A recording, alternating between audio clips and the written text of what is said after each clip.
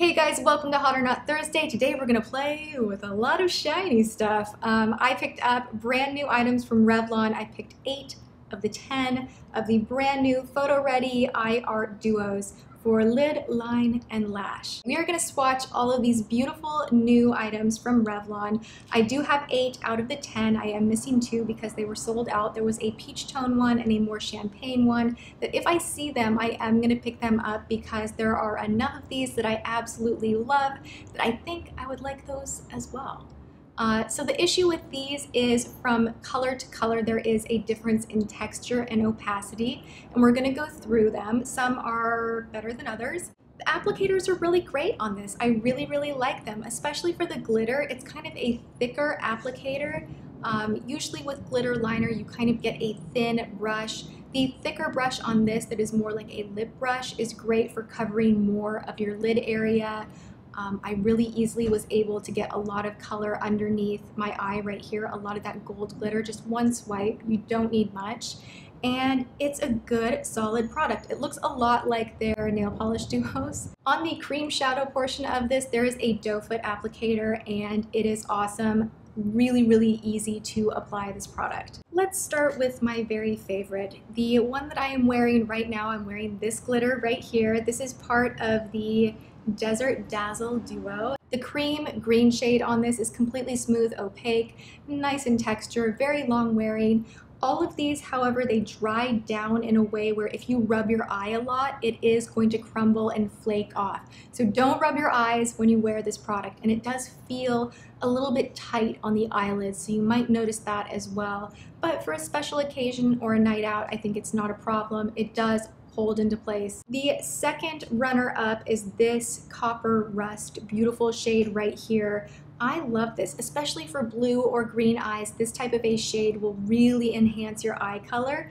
This one is called Burnished Bling and I equally love the glitter and the cream on this. It's just very pretty, very smooth, very easy to wear, easy to apply. My third favorite is because I'm obsessed with the glitter. Not really feeling the gold shade here because it is quite patchy. It doesn't apply as evenly as I would like, but the glitter is so beautiful. For a dark glitter to be this intense and this opaque, I am really, really impressed. This is better than a lot of the higher end black glitter liners that I have tried, and I just love this. This one is called Gold Glitz, by the way, but I'm not after the gold. It's all about the black glitter in here. This one, Green Glimmer, which I think is more of a mermaid green. It's not so much of an actual green. This, I love the cream.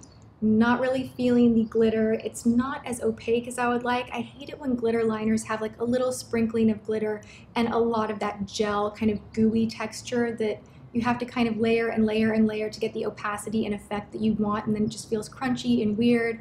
I just don't like this one. The cream, however, is gorgeous. It's very bright without being obnoxious. It's flattering, easy to apply.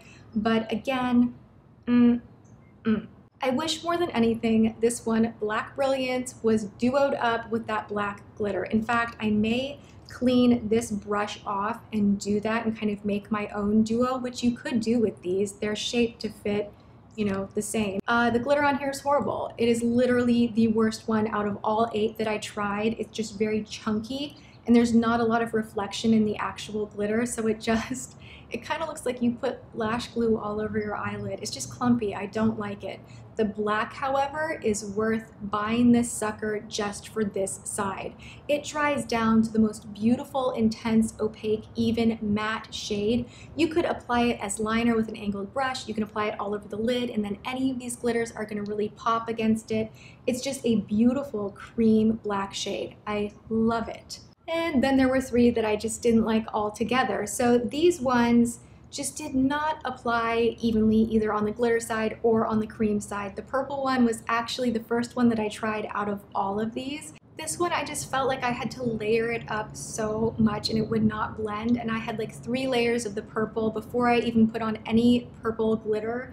And it just looked kind of chunky and didn't look very flattering. So Lilac Luster, I'm not a fan of. I'm also not a fan of Fuchsia Flash or cobalt crystal. Same situation, they just don't apply very evenly. There are a lot of them in here that I totally recommend and love. I think this collection is definitely worth checking out, so long as you pick the right shades. So that's it for this week's Hot or Not. Thumbs up if you enjoy me going through like a big, huge display of lots of colors and swatches and all of that good stuff.